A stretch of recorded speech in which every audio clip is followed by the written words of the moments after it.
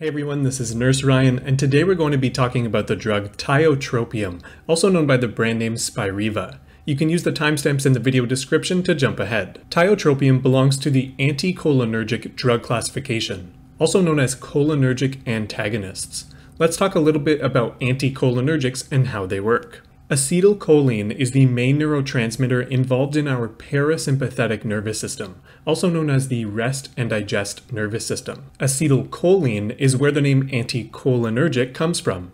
So acetylcholine normally binds to receptor sites in the parasympathetic nervous system, causing rest and digest functions. Normal rest and digest functions include anything that you do when you're resting and digesting. They include increased salivation and digestion, decreased heart rate and blood pressure, bronchial constriction, and more.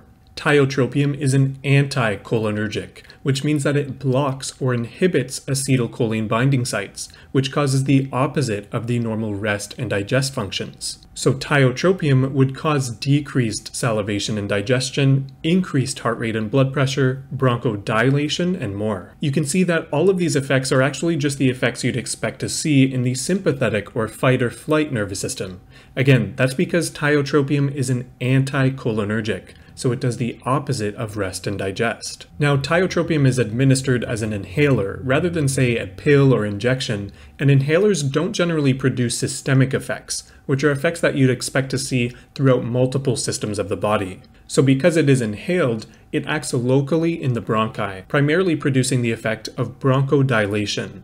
Bronchodilation is the widening of the bronchi, resulting in a more open airway and making it easier for people to breathe. Due to tiotropium's effect of dilating the airway, it can be used in the maintenance of asthma. Tiotropium can also be used in the maintenance of bronchospasms associated with chronic obstructive pulmonary disease or COPD, which includes asthma, chronic bronchitis, and emphysema. Tiotropium has an approximate onset of less than 30 minutes, while salbutamol or Ventolin typically has an onset of less than 5 minutes. This is why salbutamol is considered the go-to rescue inhaler for asthma attacks, while tiotropium is considered a maintenance or controller inhaler. It's also good to know that tiotropium is often given once per day due to its relatively long duration of 24 hours. Some of the side effects of tiotropium include a dry mouth or an unpleasant taste in the mouth, headache, anxiety, and nervousness. Less common side effects include tachycardia, arrhythmias, and paradoxical bronchospasms,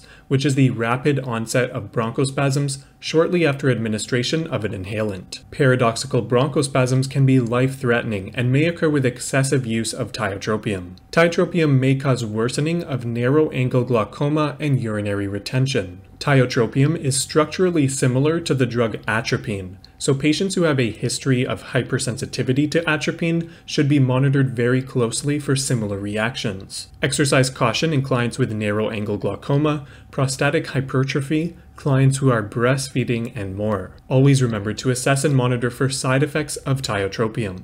You can encourage clients to rinse their mouth after use.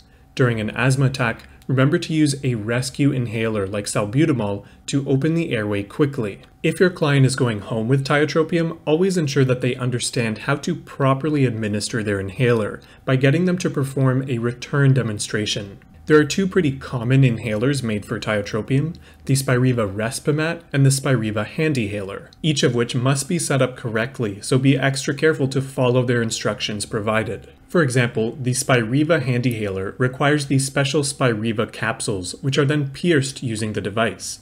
These capsules look similar to capsules that one might take orally, however, they are for inhalation only and are not to be swallowed like ordinary capsules. Remember, the medication will only work if it gets into the lungs via inhalation.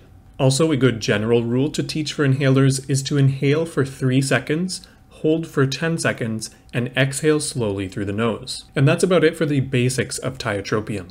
If this video has helped you out, please consider leaving a like and subscribe, I would really appreciate it. If you have any questions or would like me to review a specific drug or topic, please let me know in the comments, and thanks for watching.